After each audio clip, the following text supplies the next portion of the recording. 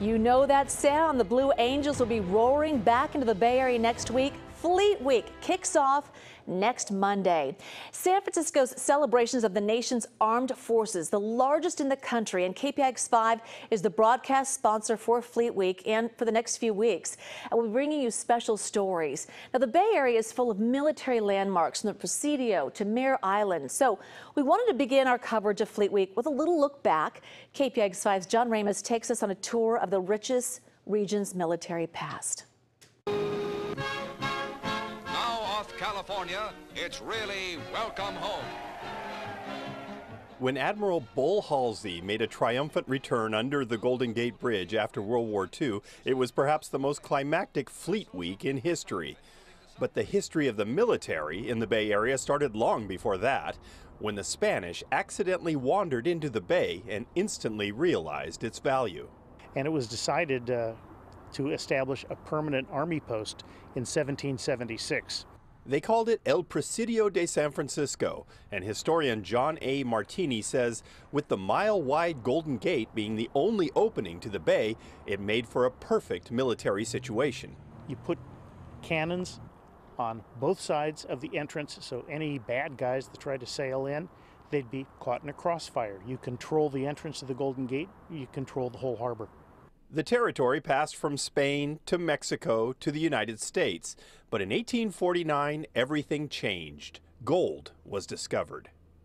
That explosion in uh, economics and people wrought by gold, that's what led for the U.S. government to say, we got to defend this. So they began building forts, a lot of them, and the Presidio was expanded. By the Civil War, Fort Point, at what is now the western end of the bridge, was a large brick fortress bristling with cannons, and the battery on Alcatraz could hit any ships trying to reach the city. Uh, the bay was well guarded by all of this heavy artillery, but uh, much of it became obsolete fairly quickly. So the cannons got bigger, although they were never actually used. But then, in 1941, an event that rocked the country and the world bomb went down a smokestack of the Arizona and exploded the forward magazine. With the attack on Pearl Harbor, America was suddenly in a world war, and the Bay Area became the most important spot on the West Coast. Overnight, small towns like Richmond, Alameda, and Vallejo boomed with the war effort as tens of thousands of people arrived to build, outfit, and repair ships. And then there was Mare Island. If you were in the Navy, you knew about Mare Island. Dennis Kelly with the island's Historic Park Foundation says it became an invaluable location for repairing and resupplying ships fighting in the Pacific Theater. But it was in constant fear of attack. The old bomb shelters still exist along Railroad Avenue. But Mare Island also holds the distinction of being the oldest Navy base in the West, established in 1853 to help protect the gold trade. Yeah, this was the beginning of the Navy's history uh, in the Bay Area and it continued all the way through till the Navy departed in the late 1990s. The war was eventually won, only to be followed by other conflicts, including Vietnam.